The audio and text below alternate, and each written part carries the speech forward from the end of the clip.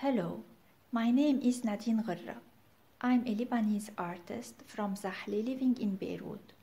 When I see accomplished artists like Jamil Molaeb, Raouf Rifa'i, or Bassam Kyrillos, who was my teacher, I feel this is a place where I would love to be. What encouraged me also to participate in your platform is that I see it's very active one. Thank you.